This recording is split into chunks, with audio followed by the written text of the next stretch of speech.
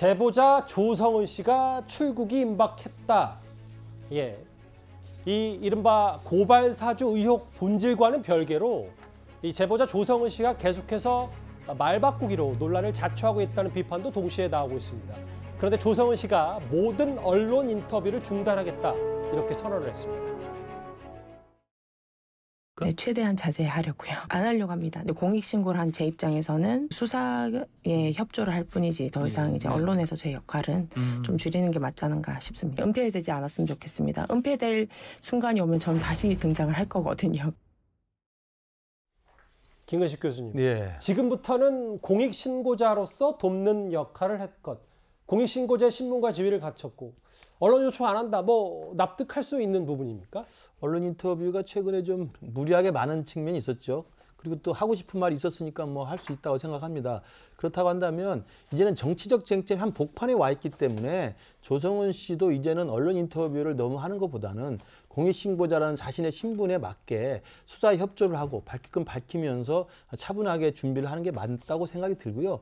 저는 이제 와서는 이 조성은 씨가 말한 이른바 이 고발 사주에 대한 의혹 제기를 일단 제기한 사람으로서 역할은 대충 들어 끝났다고 생각합니다. 더 이상 나와서 정치적 공방의 한 복판에 서서 어느 쪽을 비난하고 어느 쪽을 편들고 누구는 두둔하고 누구는 부인하고 이런 식의 정치적인 어떤 스탠스를 가지고 끼어들지 말고 저는 공익제보자가 사실은 대부분의 국민들이 생각할 때는 공익제보자로서 그 신변을 보호해 주는 것은 조용히 있을 수 있는 권한을 주는 거 아니겠습니까? 근데 너무 자부지 나와서 언론에서 정치적 파장의 한 주인공이 돼 있기 때문에 지금이라도 늦었지만 인터뷰를 그만하겠다는 것은 다행스럽다고 생각이 듭니다. 다만 이제 중요한 것은 고발사주 의혹을 제기한 만큼 뒤로 빠지고 이제는 수사를 검찰이 하든 공수처가 하든 예. 도대체 그 검사가 보냈다는 고발장이 정말 검사가 만든 게 맞는지 전달이 정말 김웅원에게 된 건지 김웅원이 정말 조성은 씨에 보낸 건지 조성은 씨에 받았을 때 어떻게 보냈는지 이 부분만 정확히 실체를 밝히면 되는 거거든요. 이게 사실 이게 복잡한 문제는 아닙니다. 예. 이제는 정치적인 너무 많은 이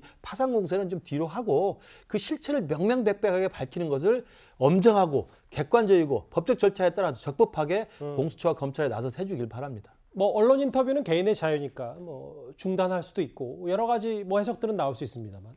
근데 장 변호사님 논란이 되는 건 또 한쪽에서 문제 제기라는 건 조만간 미국으로 출국할 것으로 보이는데 윤석열 캠프 측에서는 출국 금지 조치를 내려야 된다고 하고 있거든요. 어떻게 보십니까?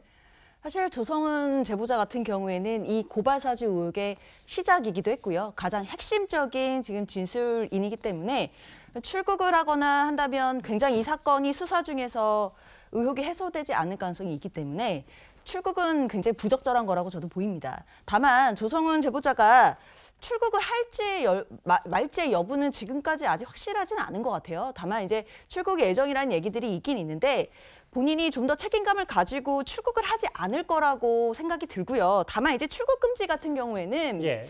사실 우리가 출입국 관리법상 굉장히 좀 요건들이 까다롭기 때문에 이것을 과연 공수처나 지금 또 수사를 시작하고 있는 중앙지검에서 이것을 맞춰서 할 수 있을지 여부는 좀 수사기관이 판단할 문제고요. 아, 잠시만요. 그러니까 예. 쉽게 법적으로 출국 금지 절차를 밟는 게 그렇게 쉬운 일이 아니다 이런 말씀이십니까? 그렇습니다. 왜냐하면 출국 금지 조치라는 것도 어떻게 보면 개인이 출국할 수 있는 자유를 제재하는 것이기 때문에 그 부분은 뭐 언제든지 아무 때나 될 수 있는 건 당연히 아니고 그 법에 정한 요건을 갖춰야 되거든요. 그렇다면 그건 수사기관에서 당연히 내부적으로 조성은 제보자가 지금 출국할 수 있을지 여부, 그다음에 이, 이 사람의 자유를 해쳐서라도 이 수사를 강제 수사를 해야 되는지 여부에 따라 판단할 문제인데 예. 다만 이제 저는 개인적으로 조성우 제보자가 지금 도덕적으로 좀 도의적으로 책임을 봤을 때 이것은 출국을 해서 자신이 그 좀 이 문제에서 도망가는 느낌을 주는 것보다는 예. 명확하게 해소를 하기 위해서 수사가 끝날 때까지는 계속 이 협조를 하면서 이 수사가 신속하고 정확하게 해결될 수 있도록 협조하는 것이 맞다고 생각합니다.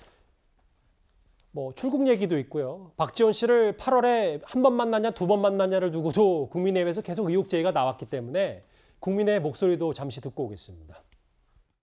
그 바쁜 국정원장이 한 달에 두 번씩이나 조성은 씨를 만난 이유가 무엇인지 언론 보도와는 어떤 관계가 있는지 도대체 조성은 씨와는 무슨 관계인지 그 사실을 명백히 밝혀주시기 바랍니다.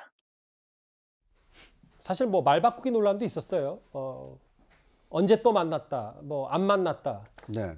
근데 이제 이, 이 말로 좀 조성우 씨가 갈무리를 하고 싶은 모양입니다. 박지원 원장이가 진짜 뭐라도 했으면 억울하지라도 않을 것이다. 억지로 엮지 말라. 마지막 반발이 이겁니다. 네. 그런데 이제 조성은 씨도 보면 좀 상식적으로 이해가 되지 않는 것이요. 이 고발 사주 의혹을 제기할 때는 굉장히 적극적으로 해명을 하지 않습니까?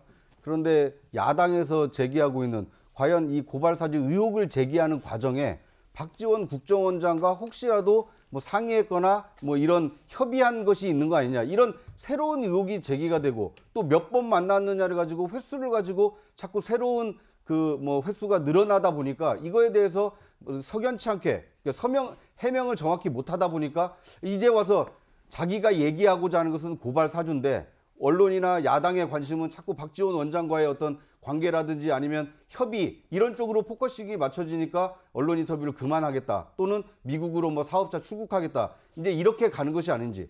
자기가 하고 싶은 얘기만 하는 것이 이 그 공익 제보자로서 해야 될 그 의무는 아닙니다. 그 제보 내용에 대해서 이것이 사실관계가 맞느냐 틀리느냐에 대한 검증은 여론의 검증 이것에 대해서도 답할 의무가 있는 겁니다. 이런 측면에서 보면 조성우 씨가 너무 자기 편한 대로 그 제보하고 자기 편한 대로 인터뷰하고 정말 정작 이 많은 국민들이 의심을 가지고 있는 이 질문에는 예. 답변하고 있지 않은 거 아닌가 뭐 이런 생각이 듭니다. 이제 목소리를 아끼겠다는 조성은 씨 제보자 얘기까지 만나봤습니다. 자, 그러면 지금까지 들어온 여러분들의 목소리를 만나볼까요? 첫 번째 댓글입니다. 박근혜 전 대통령이 불쌍하다고 하더라도 국정농단 잘못도 있지 않습니까? 라는 의견을 주셨습니다. 또 볼까요?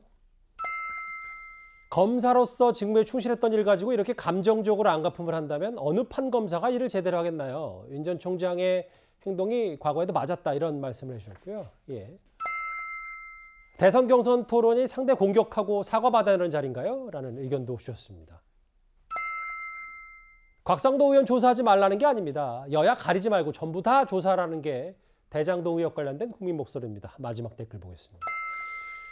수천억 원은 지금 7명 계좌에 그대로 남아있나요? 그 돈이 어디에 쓰이고 누구에게 흘러갔는지 추적해 주세요. 화천대유 대장동 의혹의 거액의 배당금을 좀 알려달라. 어떻게 썼는지 이 얘기까지 만나봤습니다. 오늘도 댓글 다섯 개 감사드리고요. 다음 주제 아, 다소 좀 세간을 떠들썩하게 하고 있는 연예계 이슈로 가보겠습니다.